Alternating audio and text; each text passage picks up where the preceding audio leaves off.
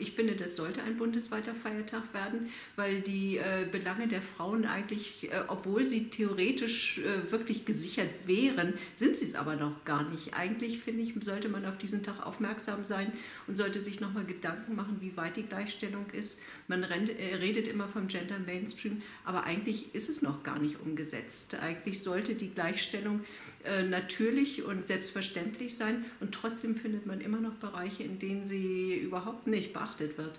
Und deswegen wäre es vernünftig, den 8. März als Feiertag, gesetzlichen Feiertag einzuführen. Ja, sage ich einfach mal so. Ich würde es gut finden. Und warum? Ich sag mal, äh, warum? Ja, ich finde es immer ein bisschen ungerecht. Vatertag ist mitten in der Woche. Muttertag ist immer ein Sonntag. Also wir sind immer benachteiligt. Warum dann nicht auch ein Frauentag mitten in der Woche? Also die Frage lautet, soll der 8. März ein gesetzlicher bundesweiter Feiertag werden? Ich habe mir das in der Tat noch nie überlegt. Ähm, einerseits wird es natürlich den 8. März auf die Höhe des 1. Mai setzen, im Sinne eines in der Tat gesetzlich verbrieften Tages, wo an die unzählige Arbeit und ähm, von Frauen erinnert wird. Allerdings finde ich auch das schade, weil natürlich der, äh, der Moment des Streiks oder im Sinne eines internationalen Frauenkampftages, was es ja hier in Deutschland nicht so richtig heißt, aber woanders schon, damit natürlich auch ein Stück weit ähm, befriedet würde. Und wenn ich so ähm, rumschaue und mir anschaue, wie wenig das thematisiert wird hier an der Universität, bin ich weiterhin dafür, das nicht zum gesetzlichen Feiertag, glaube ich, zu machen, um es nach wie vor als einen kleinen Dorn ähm, zu behalten. Und ähm, genau, ich glaube, gerade unter uns Wissensarbeiterinnen wäre das eigentlich Anlass, nochmal nachzudenken, wie wir hier mit unserem Leben an der Universität umgehen. Hm? Ich habe mir darüber nachgedacht. Ein bundesweiter Feiertag ist eine gute. Das heißt, Feiertag, er ist frei, man Zeit, dem Ganzen dahinter noch mehr zu gedenken oder zu überlegen, nachzudenken. Ich frage mich Gleichberechtigung, ob man es dann auch für alle machen sollte, auch für die Männer und für alle anderen auch.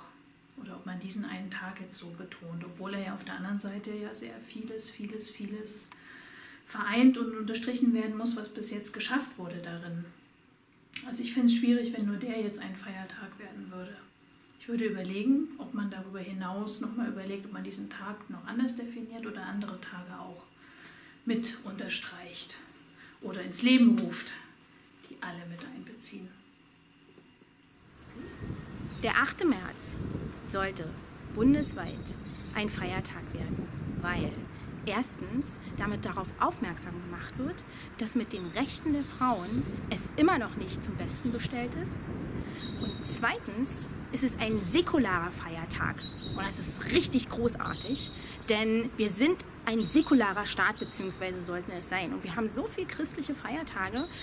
Leute, her mit den Säkularen. Und das finde ich ist auch zum Feiern, nämlich die Errungenschaft, dass wir einen Staat haben, in dem das säkulare Recht gilt und säkulare Dinge, die man sich erkämpfen möchte, im Vordergrund stehen. Und da ist der Frauentag bestens geeignet für. Ja, ich lege das mal hier weg. Ich muss jetzt ja hier nicht Hausarbeit machen, wenn es gerade um Frauentag geht. Ähm, ja. Ja. Warum? Also ich finde, der Tag sollte definitiv ähm, frei sein für alle um einfach auch Zeit dafür zu haben, das der Welt auch bekannt zu machen. Dass der Frauentag so wichtig ist und wenn man arbeitet und dann hat man einfach nicht die Zeit dafür.